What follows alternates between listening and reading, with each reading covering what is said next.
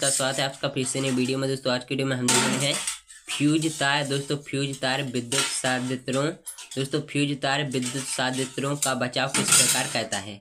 तो चलिए इसको देख लेते हैं। दोस्तों, फ्यूज तार, दोस्तों, फ्यूज तार मिश्र धातु के तार का टुकड़ा होता है।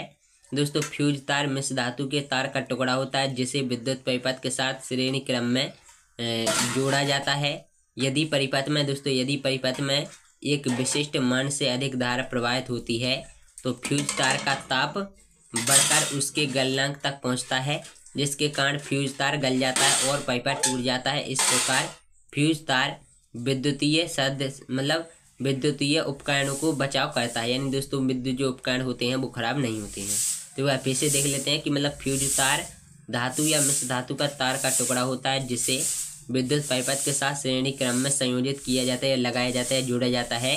यदि परिपथ में एक विशिष्ट मान से अधिक धारा प्रवाहित होती है या बहती है तो फ्यूज तार का ताप बढ़कर उसके गलनांक तक पहुँचता है, जिसके कारण फ्यूज तार गल जाता है और परिपथ टूट जाता है, जिससे हमारे जो इलेक्ट्रॉनिक घर में लगे होते हैं, वो खराब होने से बच जाते हैं। तो दोस्तों, आशा करता हूँ आप उनको वीडियो पसंद आएगी। अगर वीडियो पे हमें लाइक शेयर करना, चैनल अपने चैनल सब्सक्राइब करना।